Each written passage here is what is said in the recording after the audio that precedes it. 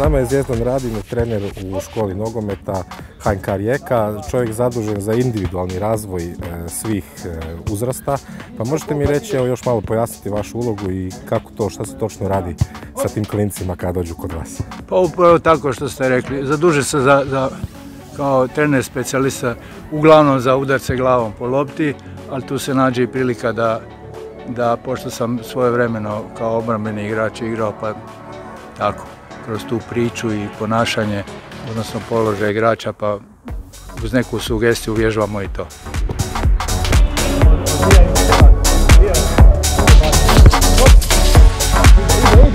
Iz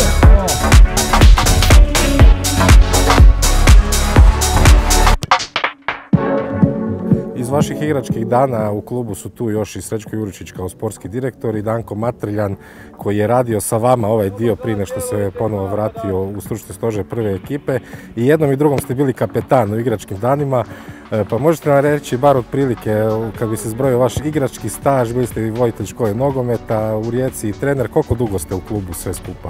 Reći ću ovako, da ne znam, kad budem stao onda ću zbrojiti sve te godine, ali igračkih dana to, to, to znam, to je 13, 13 punih godina negdje oko, mislim da je, da je e, brojka iza, iza 600, 600 nastupa za prvu momčad. Ja isto mislim da ste drugi nakon srećka po broju. E, Vjerojatno, vjerojatno, s tim da sam onda još e, do tri, svoje 38. da zaokružim 20 godina igranja nogometa, igrao sam za lučki radnik, tako da sam najvjerojatnije skupio još kojih 400 tinjak e, nastupa.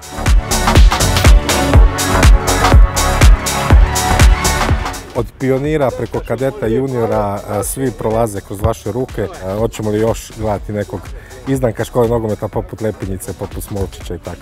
Prva momčad je koja igra na bodove, ona je zadužena za rezultat, a to mlađim igračima ne paše. I ne bi bilo dobro da ih se tretira na taj način.